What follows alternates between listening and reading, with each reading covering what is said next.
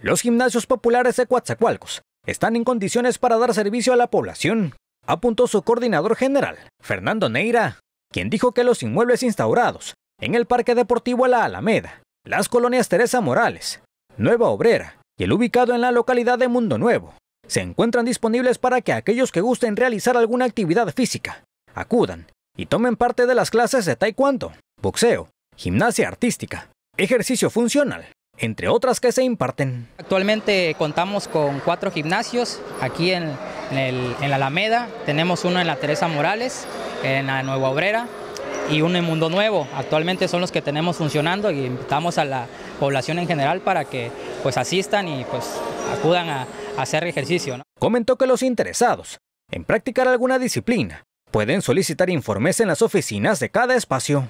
Cada gimnasio tiene su encargado y pues se pueden acercar con el personal administrativo para que les puedan dar informes de las inscripciones eh, y los horarios disponibles. Tenemos ahora sí que en la, mayoría de los gimnasios lo que es box, eh, zumba, eh, taekwondo, este, y por ahí tenemos clases de, de acondicionamiento físico, ¿no? Entonces son esas clases, algunas son este, gratuitas y otras son por medio de profesores particulares, ¿no? Entonces, eh, pues ellos ahí por ahí les dan los informes este, más detallados. De Resaltar que dichos sitios reciben a un gran número de personas diariamente. Enrique Martínez, RTV. Más deportes.